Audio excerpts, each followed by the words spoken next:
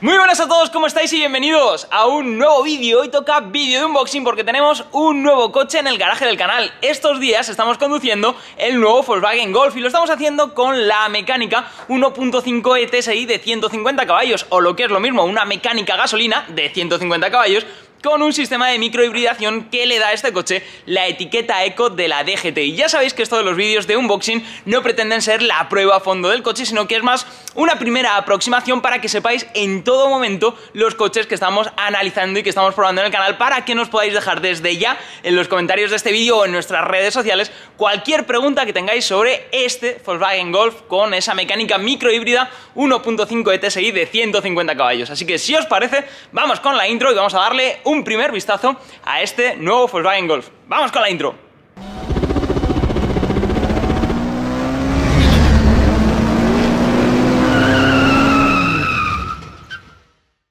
Como viene siendo ya costumbre, vamos a arrancar este unboxing hablando de diseño. Un diseño que en esta octava generación del Volkswagen Golf, bueno, pues es un tanto conservador, es un coche que se parece bastante a la séptima generación, eh, pero eh, sí que nos encontramos con nuevos rasgos, como esas ópticas delanteras, como las formas de los paragolpes, pero la línea general del coche es muy semejante a la de la séptima generación, y eso no es una mala noticia, porque creo que el diseño de la séptima generación ha aguantado bien el paso del tiempo, y estos nuevos matices en su sus ópticas, en sus paragolpes, en otros detalles, bueno, pues hacen que el diseño se siga, se siga viendo bastante fresco y interesante. Y también creo que es una cuestión que muchos clientes de la marca valoran muy positivamente.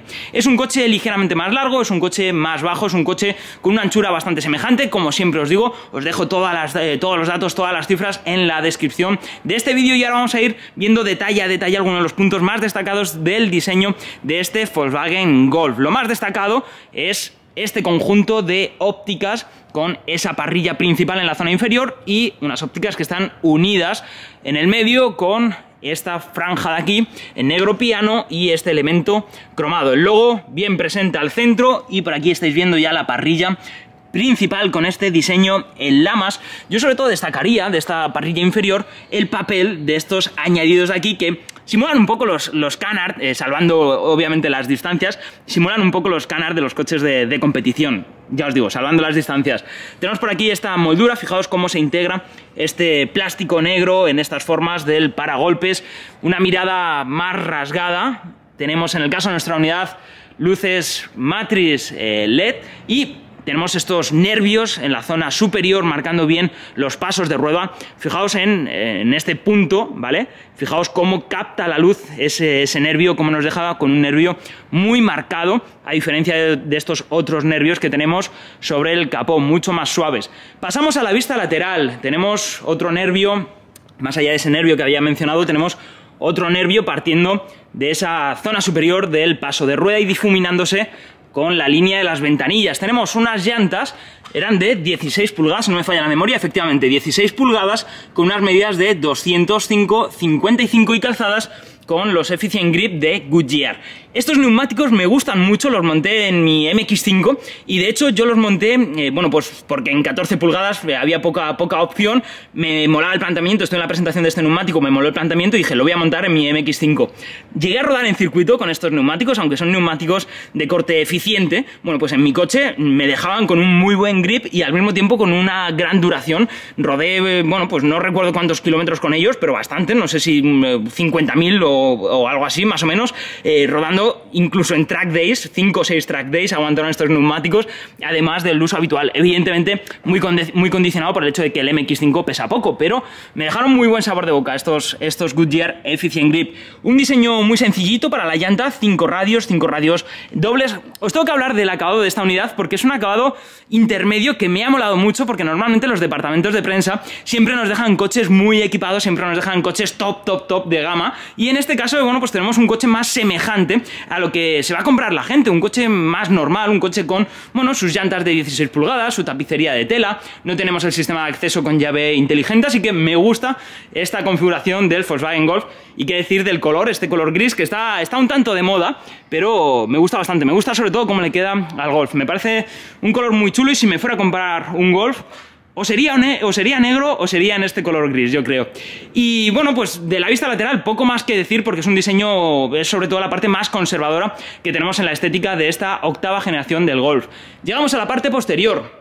En la parte posterior tenemos estas ópticas como punto más destacado. Unas ópticas que se meten hacia el lateral del vehículo, que nos dejan con una firma lumínica bastante chula y que encajan a la perfección con ese nervio que tenemos en la zona central del portón del maletero. Un portón del maletero que en la zona superior cuenta con este pequeño alerón y en la zona inferior pues ya lo estáis viendo, no tenemos escapes falsos, aunque sí que tenemos esas molduras que se asemejan a lo que podrían ser escapes falsos, y tenemos esa hendidura en la zona inferior del, del paragolpes, haciendo un poco de difusor. También, por supuesto, hay que mencionar la tipografía y la ubicación del logo de la marca en esta zona posterior. Si tiramos, accedemos al maletero y nos encontramos con una capacidad de carga de 380 litros. Es la misma capacidad de carga que teníamos en el anterior Volkswagen Golf, es una capacidad de carga muy semejante al Volkswagen ID3 que estuvo estos días con nosotros en el canal, es una capacidad de carga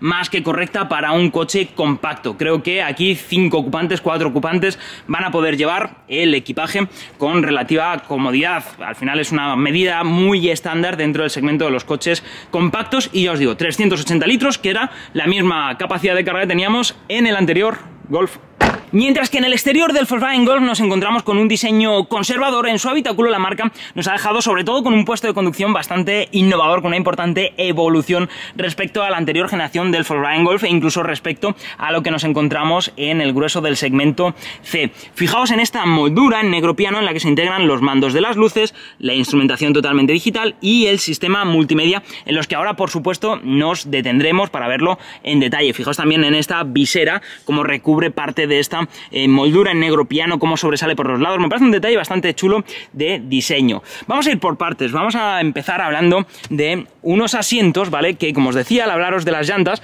bueno, pues me gusta la configuración de esta unidad porque el departamento de prensa de Volkswagen, en lugar de irse a un R-Line más llamativo, visualmente, bueno, pues con un efecto wow superior, nos encontramos con una configuración muy normal, nos encontramos con la configuración que la mayoría de la gente va a hacer un acabado intermedio con su tapicería en tela, con un diseño un tanto clásico, podría ser una tapicería, nos, mm, nos podríamos haber encontrado con este tapizado hace unos años en, alguna berlina o en algún coche eh, compacto, nos encontramos con un asiento bien resuelto, sencillito, sin demasiada oreja eh, lateral, pero con un buen mullido. Son los asientos en los que he hecho un buen número de kilómetros, no en esta unidad, sino en otros Golf que he tenido la oportunidad de probar, y son los asientos que se sienten bastante cómodos y con los que nos vamos a terminar bajando del coche después de un viaje, pues sin dolores de espalda y sin molestias. Voy a cerrar la puerta, escuchad. Otra vez. Otra. Me gusta el clonk, la sensación de, de calidad que transmite ese clonk al cierre de la puerta. ¿Qué tenemos por aquí? Bueno, pues tenemos un puesto de conducción en el que nos encontramos con un volante en el que destaca esta moldura de aspecto metálico contorneando los radios laterales y la zona inferior. Tenemos por aquí los botones bien integrados y sobre todo con una buena sensación de calidad al tacto. Tenemos eh, una zona central acabada en material duro, pero que no transmite una mala calidad luego de la marca al centro y un acabado negro piano en el interior de este radio inferior. El aro tiene un buen diámetro, finito pero correcto y sí que me gustaría un poquito más de mullido en este aro, ¿vale? No está mal la sensación de calidad, pero me gustaría un poquito más de mullido, puestos a pedir. Tenemos tras este volante las levas del cambio, pequeñitas, en este caso, bueno, pues tampoco me importan que queden algo lejos de la posición natural de, las manos, ¿vale? Porque tampoco es un coche en el que vayamos a realizar una conducción deportiva y tenemos por aquí los mandos satélite. Tras este volante tenemos eh, la instrumentación. Voy a arrancar el coche. Tenemos por aquí el arranque por botón Ahí está, ya está nuestro 1.5 ETSI arrancado y tenemos una instrumentación totalmente digital de 10,25 pulgadas. A mí me encanta esta, esta, instrumentación porque visualmente es atractiva, me gusta cómo, cómo, se juega con ese rojo, con ese negro, con los colores, con eh, los diferentes puntos de los diferentes menús. Me gustan las posibilidades que nos ofrece esta instrumentación personalizable. Podemos cambiar el aspecto a golpe de botón y vamos a bajar por aquí la radio. Ahora os hablaré de, eso que acabo de hacer deslizando. Y por supuesto ahora os hablaré del sistema multimedia. Eh, tenemos por aquí las diferentes caras de este eh, de, este, de, esta instrumentación totalmente digital de 10,25 pulgadas. Sobre todo yo me quedo con la idea de que no solo es atractiva, sino que también nos presenta la información de una forma clara, de una, eh, de una forma, bueno, pues rápidamente legible en un golpe de vista, que es lo importante en una instrumentación al fin y al cabo. Tenemos por aquí los mandos de las luces, ¿vale? tenemos, son mandos táctiles, ya lo estáis viendo.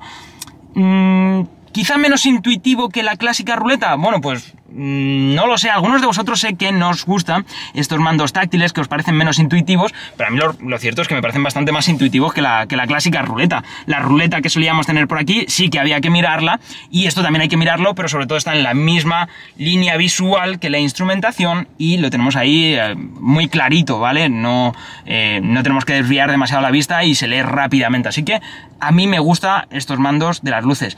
Habitualmente lo vamos a llevar en auto, sí, pero si tenemos que pulsarlo, pues lo vamos a poder ver de forma clara. Y tenemos más allá de esta instrumentación digital, tenemos por aquí el, cuadro del sistema multimedia eh, con un tamaño de 10 pulgadas, 8,25 pulgadas en las versiones más modestas. Ya estáis viendo que tengo por aquí mi, eh, mi cuenta de Spotify sincronizada. Tenemos, por supuesto, conectividad con Apple CarPlay y Android Auto, además de forma inalámbrica. El teléfono móvil lo tengo ahora mismo en el, en el bolsillo y ya tenemos el Apple CarPlay conectado. Es un sistema multimedia que a veces cuenta con algo, algo de lag en las transiciones, ¿vale? Pero bueno mm, sobre todo cuando arrancamos el coche, nada más arrancar mientras está cargando el sistema multimedia, bueno, pues tiene un poquito de lag, pero sobre todo a mí me gusta la interfaz, me gusta cómo eh, la marca ha tratado eh, el aspecto de este sistema multimedia, un sistema multimedia además bastante, o al menos a mí me, parece intuitivo, si tenemos una serie de submenús y demás que, con los que tenemos que ir eh, familiarizándonos, ¿vale? Pero bueno, pues nos ofrece muchísimas posibilidades y nos ofrece muchísima información, así que a mí me me gusta este sistema multimedia y por supuesto pues también me gustan las opciones de conectividad que, tenemos. Por ahí tenemos a, los Nasties sonando en mi, en mi Spotify y vamos a, vamos a ampliar el navegador para enseñároslo pues de nuevo, un navegador con una interfaz eh, correcta, un navegador con un buen nivel de fluidez. Me gusta, me gusta este sistema multimedia y luego también me gusta cómo está integrado, no solo en esta moldura en negro piano, sino también cómo queda posicionado respecto al salpicadero, porque yo creo que contenta a las dos caras de, la moneda, eh, contenta a aquellos que os gustan los sistemas multimedia eh, integrados en el salpicadero y también convencen, bueno, pues a, a aquellos que buscan una interfaz más moderna con pantallas flotantes. Es una pantalla flotante, pero queda por debajo de la línea principal del salpicadero. Así que me gusta este sistema multimedia. Lo que quizá nos va a gustar tanto a, unos cuantos de vosotros es el hecho de disponer de estos mandos táctiles. Tenemos mandos táctiles para subir o bajar el volumen, deslizando, ¿vale? Ahí, ahí estáis viendo cómo podríamos subir o bajar el volumen deslizando el dedo y también tenemos mandos táctiles para la climatización. Ya estáis viendo ahí 17,5, 22 grados. Si pulso aquí voy a acceder al menú específico de la climatización. Sé que a muchos de vosotros no os gusta el disponer de los mandos clásicos para el climatizador. A mí me gusta por el mayor minimalismo que tenemos en el, en el salpicadero, pero entiendo que a otros de vosotros no os guste. Podemos gestionar la temperatura deslizando el dedo por estas superficies táctiles, si no, por supuesto, también lo podemos hacer presionando en estos puntos de aquí e incluso podemos interaccionar con el climatizador a través de los mandos por voz y decirle tengo frío, tengo calor y que se regule la temperatura. Tenemos también el Smart, el Smart Climate, yo creo que esto os lo enseñé eh, con el León o creo que os lo enseñé con el con el Octavia, que tienen la interfaz es diferente, pero las funciones son semejantes y tenemos funciones ya eh, preconfiguradas en las que podemos decir, oye, quiero calentarme los pies. Le pulsas y se activa la calefacción para los pies. Oye, quiero enfriarme los pies. Lo mismo, aire fresco, eh, etcétera. Eh, bueno, pues entiendo las quejas, pero yo reconozco que a mí me gusta la integración del sistema de climatización en esta pantalla. Deslizamos la vista hacia la zona inferior, tenemos por aquí una serie de accesos directos también táctiles para eh, interactuar con el sistema multimedia. Si pulsamos, por ejemplo, en Mode, vamos a acceder a los diferentes modos de conducción que tenemos en nuestro Golf. Si accedemos, si presionamos aquí, tenemos, accedemos a los, a los menús de aparcamiento con la ayuda al aparcamiento y el Park Assist. Tenemos acceso directo a la climatización también. Y ahora no sé por qué se ha puesto en amarillo. Ah, porque, porque he cambiado el modo de conducción, claro. Está diciendo, no sé por qué se ha puesto ahora en amarillo y es porque he seleccionado otro modo de conducción. Si seleccionamos confort, se pone azul. Si, pondremos, eh, si ponemos eco, pues sigue, sigue en el azul. Ah, no, es un azul diferente, fijaos. Eco, confort, cambian de, cambian de color. Seguimos descendiendo, tenemos por aquí eh, dos tomas USB-C, tenemos un punto de carga Ah, bueno, es un sistema de asistencia a la conducción, que lo que ha sonado. Tenemos un punto de carga eh, por inducción para nuestro smartphone. Tenemos por aquí el botón de arranque. Tenemos por aquí un hueco perfecto. Yo llevo las, las gafas de sol, pero es un hueco perfecto para las llaves de nuestro Golf. Y tenemos por aquí los dos posavasos, una toma de 12 y hueco bajo el reposabrazos central forrado también en un acabado textil. Quiero hacer un vídeo independiente para hablaros de qué diferencias hay en el interior de un Seat León respecto a este Golf, que evidentemente hay muchos elementos comunes, como por ejemplo el sistema multimedia, el mando de la, caja de cambios. Bueno, el mando realmente cambia en el acabado, pero tiene la misma forma. Tenemos un, eh, punto de partida común, podemos decirlo, eh, decirlo así, entre ambos coches, pero cambia mucho el acabado de ciertas zonas y demás. Quiero hacer un vídeo, ya os digo, independiente en el que hablo de cuál está mejor terminado o cuál me gusta más, cuál, qué experiencia nos ofrece en definitiva cada uno. Tenemos, hablando ya de materiales y de acabados, tenemos material blando en la zona superior. Tenemos este acabado símil aluminio en la zona intermedia, transmitiendo una buena sensación de calidad. Tenemos iluminación ambiental. Vamos a poner el modo Sport, que yo creo que visualmente se ve más y ya estáis viendo cómo cambia a rojo toda esa iluminación ambiental. Y luego tenemos en la zona inferior este acabado en, lamas, ¿vale? Eh, con rejilla falsa en, este, en el centro, pero uniendo bueno, las rejillas centrales con las rejillas laterales. En el túnel central, plástico duro, pero de calidad, la zona inferior del salpicadero es muy pequeña, pero es plástico duro. Así que yo sobre todo me quedo con este mazacote de acabado blando y con una muy buena sensación de ajuste en este interior del Golf. En el guarnecido de la puerta tenemos material blando en la zona superior, tenemos acabado textil en la zona intermedia, Aquí ya empieza el plástico duro y en la zona inferior plástico duro, aunque tenemos gamuza en el interior de este hueco portaobjetos que, se ha dicho de paso, tiene un tamaño bastante generoso. Pues vamos a ver qué nos encontramos. Voy a sentarme, como siempre, el asiento delantero fijado para mi altura, 1,80 m, y tenemos un espacio longitudinal correcto. No es, bueno, más que correcto, yo diría, un espacio longitudinal bueno. No tenemos el espacio que tenemos en el León, no tenemos el espacio que tenemos en el Octavia, que aprovechan mejor la plataforma MQB en ese sentido, pero es un espacio más que correcto para una persona de 1,80 m, un, alguien de 1,90 ya rozaría seguramente con las eh, rodillas, me parece correcto el espacio de este eh, que tenemos en el asiento trasero del Golf. Estaba fijándome en estos espacios portables objetos separados, ¿vale? Bastante chulo y bastante eh, peculiar, no es algo que nos encontremos demasiado a menudo. Tenemos luego abajo en la zona inferior el, convencional y voy a darle la vuelta a la cámara para que veáis la altura disponible. Alguien de un metro noventa tendría espacio eh, por altura y la anchura disponible pues también es más que, más que correcta, así que bueno, pues bien por el espacio disponible en, este, en las plazas traseras de este Golf. Un León un Octavia nos ofrecen más espacio, pero desde luego es un espacio más que suficiente el que tenemos en este Volkswagen Golf. Tenemos también un espacio correcto para los pies, quizá me gustaría un poquito más de espacio en la zona posterior, puedo meter relativamente bien los pies bajo el asiento, ya sabéis que yo soy bastante maniático con eso, y tenemos un túnel central algo pronunciado en esta plaza central. Voy a sentarme bueno, pues el mullido del asiento es más durete, pero tampoco es demasiado incómodo. Y este túnel central, pues tampoco me obliga a abrir demasiado las, las piernas. Lo que sí es duro es el respaldo. El respaldo es algo, algo más incómodo que la base del asiento de esta plaza central, pues por el hecho de que tenemos por aquí el reposabrazos ¿vale? Un reposabrazos sencillito, con ese hueco, con esos dos huecos portavasos. Y tenemos por aquí los aireadores y la climatización de esta zona posterior. Sí, tenemos climatizador trizona en este Golf, que tiene un acabado intermedio, no estamos ante un tope de gama, y tenemos climatizador de tres zonas.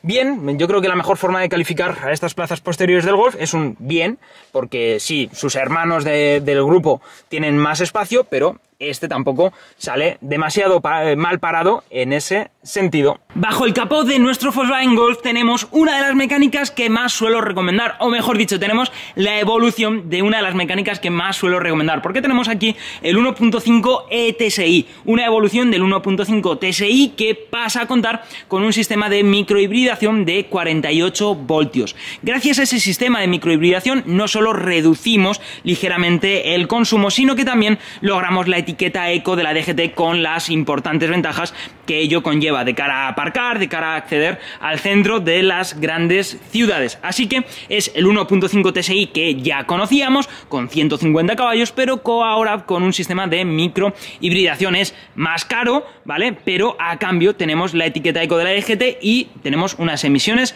ligeramente inferiores. Es una mecánica que registra un consumo medio de 5,6 litros a los 100, consumo homologado. Cuando haga la prueba a fondo ya del coche ya os contaré qué consumo he logrado durante estos días y para la ocasión está asociado a la transmisión automática de doble embrague DSG. Hoy no voy a hablaros de sensaciones, hoy no voy a hablar de rendimiento porque me reservo mis impresiones al respecto para la prueba en profundidad, para la prueba dinámica de este Golf 1.5 ETSI.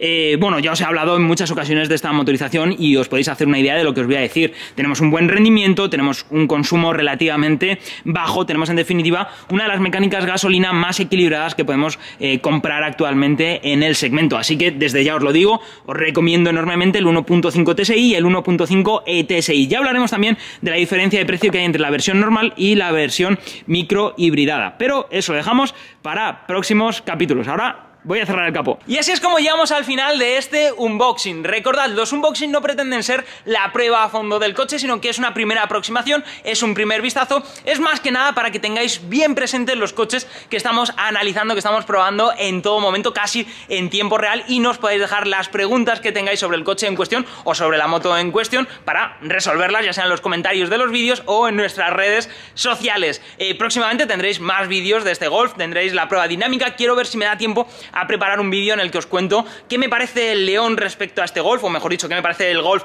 respecto al León y al Octavia, que ya sabéis que han pasado recientemente por el canal. Y para terminar, ¿cuánto cuesta el Golf que estamos probando con este acabado, con esta motorización? Bueno, pues tenemos un precio de partida de 31.835 euros. Y para que lo pongáis bien en contexto, es un precio 2000, eh, unos 2.600 euros superior a la versión convencional de esta motorización al 1.5 TSI, eh, no el 1.5 ETSI que estamos analizando, aunque en la ecuación va añadido el cambio de SG que evidentemente pues implica cierto sobrecoste. Así que 31.835 euros. Con esto me despido, espero que os haya gustado este vídeo, espero que os, haya, que os haya parecido interesante. No os olvidéis de dejar vuestro like, suscribiros al canal si todavía no estáis suscritos y ahora seguimos hablando en los comentarios de este vídeo sobre el nuevo Volkswagen Golf. Nos vemos pronto en más vídeos. ¡Hasta luego!